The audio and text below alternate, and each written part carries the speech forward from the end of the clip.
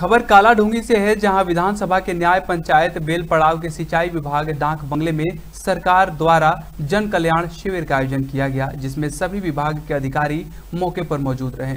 अधिकारी फरियादियों का इंतज़ार करते मिले। आपको बता दें कि सरकार द्वारा ग्रामीण स्तर तक पहुँचने और पहुंचकर जन कल्याणकारी योजनाओं का प्रचार प्रसार करने और सरकार की नीतियों को अंतिम छोर तक पहुँचाने का कार्य विभागीय अधिकारियों द्वारा किया जा रहा है, जिसके चलते आज सिंचाई विभाग के डाक बंगले में शिविर का आयोजन किया गया, जिसमें विभागों के अधिकारी मौजूद रहे। लेकिन कोई भी फरियादी शिविर में नहीं पहुँचा। जन कल्याण शिविर कार्यक्रम की अध्यक्षता समाज सेवी भगवान सिंह रौतेला ने की। साथ ही उन्होंने कहा कि जन कल्याण शिविरों का आयोजन को लेकर व्यापक प्रचार प्रसार करने की ज़रूरत है ताकि लोगों को अधिक से अधिक लाभ मिल सके। काला ढूँगी से मुकेश छिम्वाल की रिपोर्ट। कि इसका प्रचार प्रसार नहीं होता।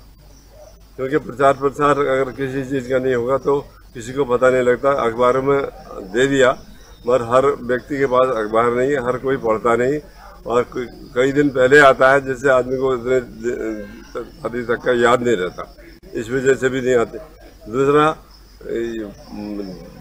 सरकारी कर्मचारी जितना आना चाहिए था, जैसे राजस्व विभाग की ज़िम्मेदारी थी, राजस्व विभाग का यहाँ पर कोई भी कर्मचारी, अधिकारी उपस्थित नहीं है। इसी तरह सारे विभाग भी नहीं आए हैं तीन चार विभाग आए हैं। उसके अलावा बाकी विभाग आए नहीं। जब सरकार, जनता के द्वार का मतलब है कि पूरी सरकार के हर विभाग यहाँ पर उपस्थित हो और जनता भी उपस्थित हो। इस दोनों पक्ष की कमी की वजह से आज इतना अच्छा सरकार जनता के द्वार वाला कार्यक्रम नहीं हुआ। इसलिए मैं ये चाहूँगा कि आगे को इसका प्रचार प्रसार हो पहले और उसके बाद पब्लिक आए और विभागीय कर्मचारी आए। और क्षेत्रीय प्रतिनिधियों का भी आना चाहिए यहाँ और क्षेत्रीय प्रतिनिधियों को भी सूचित होना चाहिए कि कल को भैया ये होगा। तो इसलिए मैं चाहूँगा कि आइंदा इस तरह का ये कार्यक्रम ना हो, कार्यक्रम हो तो ढंग से हो।